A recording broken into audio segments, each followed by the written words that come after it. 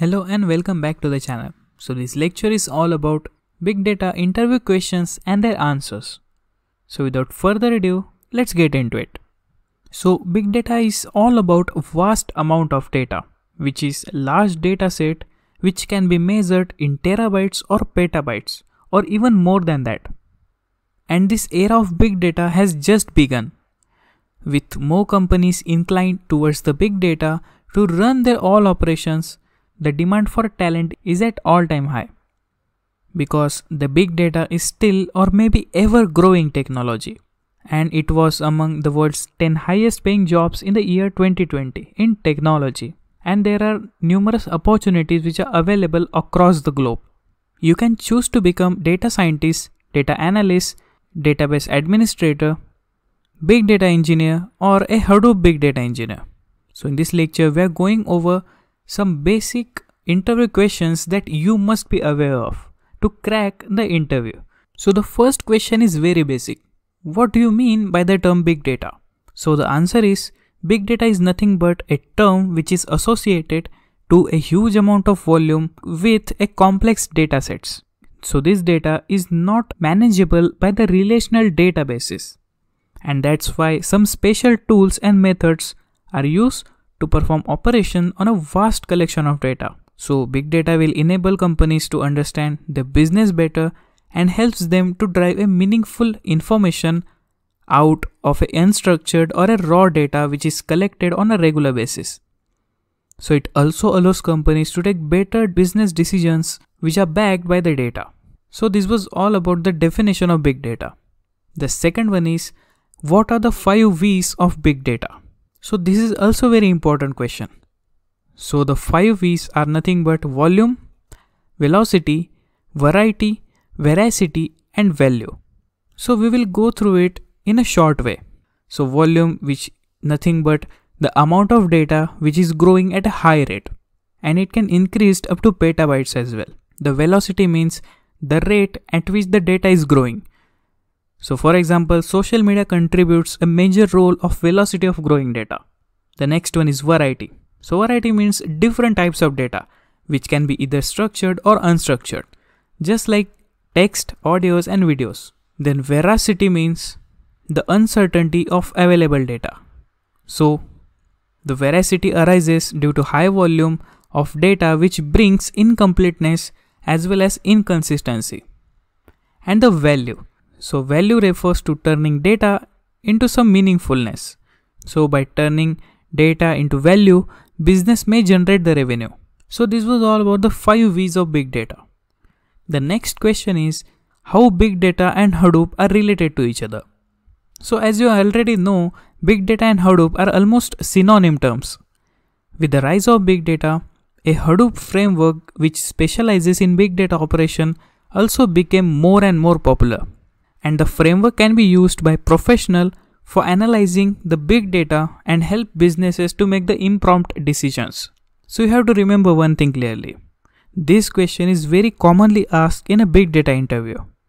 So you can go further to answer this question and try to explain the main components of Hadoop which will make it a great impression. The next question is how big data analysis is helpful in increasing the business revenue. So in this question, you have to explain why big data is helping business to stay in the competition. So big data analysis is a very important for each and every business, either it is small or a big. So it helps business to differentiate themselves from other and increase the revenue. So through the predictive analysis, this big data provides business a customized recommendation and suggestions.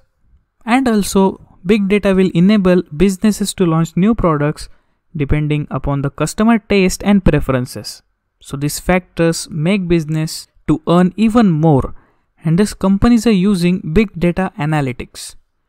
So it can significantly impact the revenue increase of 5 to 20% and some of the popular companies are using big data analytics to increase their revenue such as Walmart, LinkedIn, Facebook, Twitter, and so on. So this is how you should convey how the big data is useful for the companies and how it contributes to increase the business revenue. The next question, it is also a vital one. So explain the steps which are followed to deploy a big data solution. So there are majorly three steps to deploy a big data solution. First one is a data ingestion, second one is a data storage, and the third one is data processing. So the first step of for deploying the big data solution is data ingestion. So as the name suggests, it is just extraction of data from various sources. So they can be the CRM like Salesforce, the enterprise resource planning system such as SAP, as well as RDBMS like MySQL or any other log files. It can also include documents, also the social media feeds as you already aware, etc. So this data can be injected through batch jobs or a real-time streaming. It all depends on the velocity of data which you need to ingest. And this extracted data is then stored in the HDFS for the next step.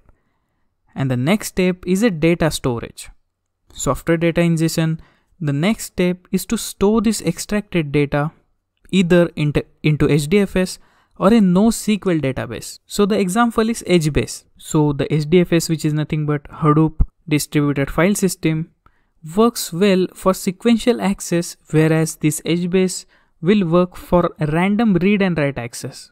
And the third step is data processing. So in this final step, the data is processed through one of the processing frameworks such as Spark, MapReduce, Pig, etc. These technologies we are going to discuss in our upcoming tutorials. But I hope we already covered some introductory part regarding these tools. So if you want to know more, just refer our playlist which is dedicated to big data. So our next question is define the components of HDFS and YARN. So it is also a very vital question. There are mainly two main components of HDFS. The first one is a name node and the second one is a data node or we can say slave node. So name node is a master node for processing metadata information for the data blocks which are present in the HDFS. And the second one is a data node. So this is the node which acts as a slave node to store that data as well as for processing and use by the name node. And the yarn also has two main components. The first one is a resource manager and second one is a node manager. So resource manager is a component which receives the processing request and accordingly it allocates to respective node managers which depends upon processing needs. And the node manager executes task on each single data node. So these are all the components of HDFS and YARN respectively. Our next question is why Hadoop is used for big data analytics. So since the data analysis has become one of the key parameters of every business, the enterprises are dealing with massive amount of structured unstructured as well as semi-structured data. And analyzing unstructured data is a quite difficult process where the Hadoop takes a major part of its capability of storing, processing and collecting that data. And also Hadoop is an open source and runs on a commodity hardware which are very cost effective and easy to replace. So hence it is a good solution for every business. Our next question is what is FSCK? So what do you mean by that? It is nothing but a file system check. So it is a command used by HDFS which is used for checking some inconsistency and to find out any problems in the file. So for example, if there are any missing blocks in the file, then HDFS gets notified through this command. So this is just for a system check purpose. Our next question is what are the main differences between NAS which is network attached storage and the HDFS? This is a little bit tricky question. So there are majorly two differences between NAS and HDFS. So the HDFS which is Hadoop distributed file system runs on a cluster of machines while the NAS works on a individual machines. Hence during the hardware failure, HDFS will be a good option since the data is distributed across these commodity hardwares instead of only one hardware as NAS. And the next one is data is stored as a data blocks in local drives in case of HDFS. And on the other hand, in case of NAS, it is stored as a dedicated hardware. So these main two difference you have to remember if this question will come in the interview. And the last question is pretty simple. So what is the command to format the name node? So it is really simple. The command is hdfs space name node dash format. So this command is used to format the name node. So these are all some basic big data questions that may come in the big data interview. So I hope you got the clear understanding of which type of question may come across in the big data interview and how to face them. So if you like this lecture, please subscribe to our channel and ring the notification bell to get the latest updates. And don't forget to follow us on our social media that I have linked in the description below. Thanks for watching.